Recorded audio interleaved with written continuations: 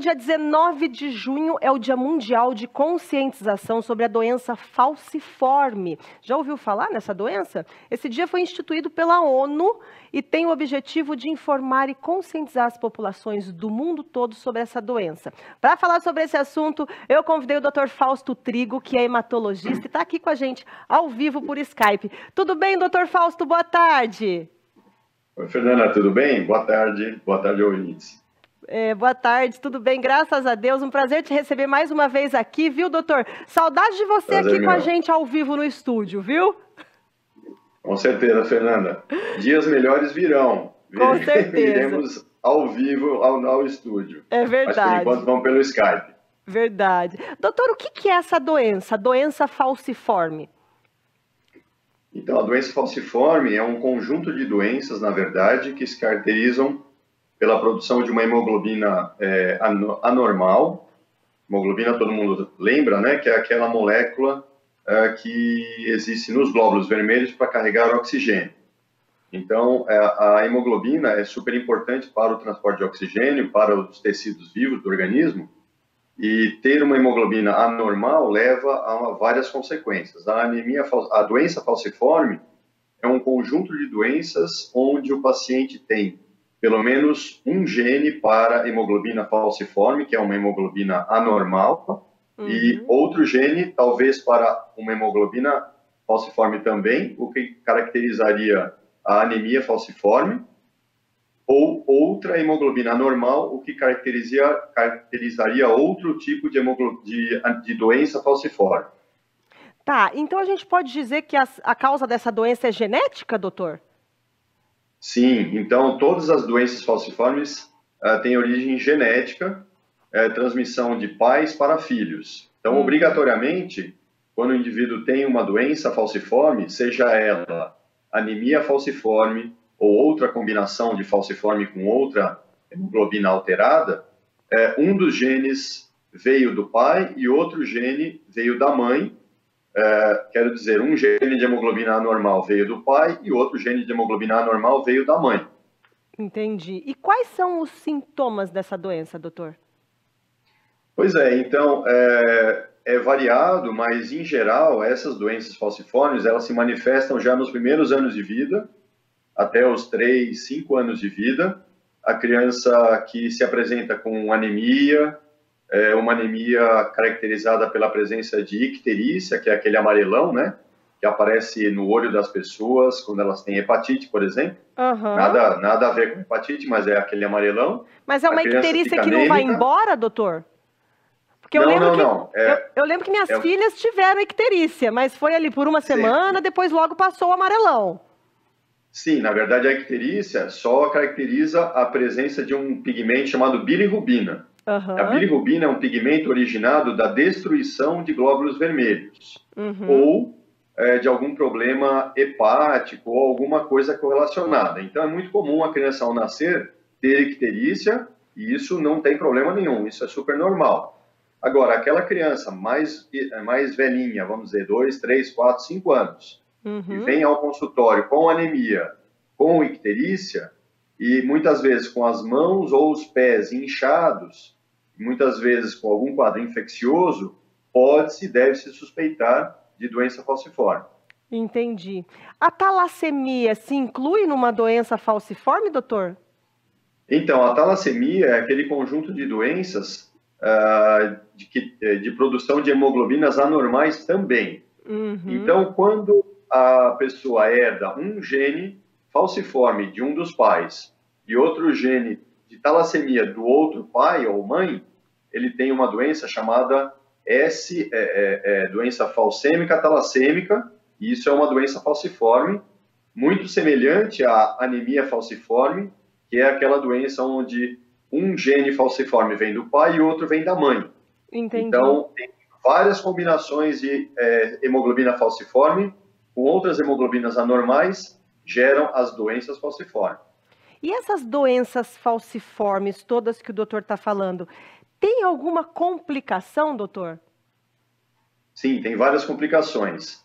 Então, essas doenças falciformes são caracterizadas pela destruição uh, precoce de glóbulos vermelhos na circulação sanguínea. Uhum. Uh, isso faz com que o indivíduo tenha anemia crônica, então ele nasce, já desenvolve anemia e permanece anêmico para o resto da vida. Então isso faz com que isso altere crescimento, altere uma série de é, é, situações endocrinológicas, cardiovasculares, uhum. mas além disso, essas doenças se caracterizam por crises que nós chamamos de vasooclusão. O que, que são isso? Os vasos sanguíneos são muitas vezes ocluídos uh, pela transformação dessas hemoglobinas falciformes em formatos anômalos, em formatos anormais, uhum. impedindo a circulação sanguínea adequada. Isso provoca episódios de crises dolorosas, é, pode provocar episódios trombóticos, como, é, por exemplo, acidente vascular cerebral. Meu Deus! Ah, é, são várias coisas. Infelizmente, é uma, são doenças que podem ter uma gravidade muito, muito grande. E, em cima disso tudo, além disso, esses indivíduos têm facilidade para infecções. Então, eles são muito suscetíveis a infecções. Não é infrequente que eles tenham que fazer tratamentos é, antibacterianos, etc. Uhum. E com uhum. gravidade, muitas vezes internados em hospitais. E tem cura, doutor? Então, uh, as doenças falciformes são doenças crônicas uh, somente curáveis quando você consegue, pode realizar um transplante de medula óssea, o que no Brasil é absolutamente raro. Nós temos muito poucos programas uhum. de transplante de medula óssea no Brasil. Então, pra, é, é considerada de uma forma geral uma doença incurável, quer dizer, o indivíduo vai ter que conviver com isso ao longo da vida mas existem, sem dúvidas, abordagens terapêuticas, medicamentos que podem é, facilitar muito a vida dos pacientes com doença falciforme e que são utilizados na prática clínica. Então, existe tratamento e a pessoa com um tratamento bem correto consegue ter uma vida, uma qualidade de vida, uma vida normal, podemos dizer assim? Sim, sim, sim, com o tratamento correto, com o acompanhamento correto, uh, essas pessoas vivem vidas é, normais, obviamente com algumas limitações, né, que como nós falamos. Mas sim, eles é, se é, estudam, se formam, é, uhum. vão para o trabalho, têm filhos, inclusive. Então eles vivem vidas normais, uh, porém com restrições. Uh, de uma forma geral, a, a, a qualidade de vida deles, então, pode ser muito prejudicada caso eles não tenham um tratamento e um segmento adequado.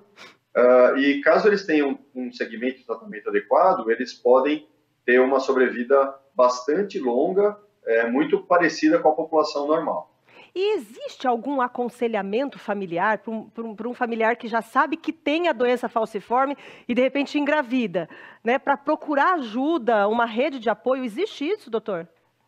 Isso, essa é, essa é ótima pergunta, Fernanda. Na verdade, é, eu acho que a partir de 2004, 2005, se eu não me engano, o teste do pezinho que é feito nas maternidades, ele no Brasil todo, ele detecta a presença de hemoglobina falciforme, uhum. tá?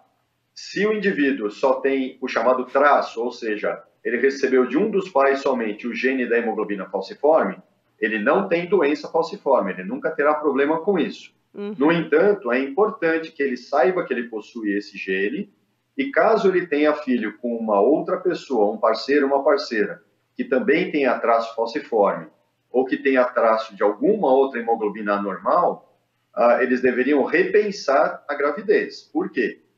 Porque é, é, quando você tem é, uma pessoa com um, um traço e a outra pessoa com outro traço, existe até 25% de chance da criança nascer com uma doença falciforme. Isso é, é, um risco bastante importante.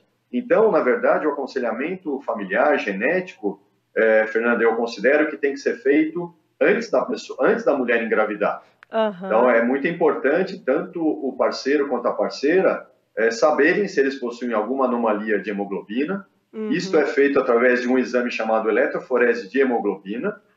Uh, infelizmente, a rede é, de assistência a, a rede de assistência à saúde, ela, ela faz o pré-natal muitas vezes da mulher já com dois, três meses de gestação. O ideal seria que toda mulher e todo homem que vai querer ter filho fizessem a eletroforese de hemoglobina antes, para que não houvesse é, esse problema de haver a junção de dois genes anômalos. Uhum. E aí, acho que é um aconselhamento familiar importante. Com certeza. Doutor Fausto, muito obrigada pela sua participação mais uma vez aqui no Ver Mais, viu? Bom final de semana. Bom final de semana. Obrigado, Fernanda. Obrigada. Tchau, tchau. Tchau, tchau.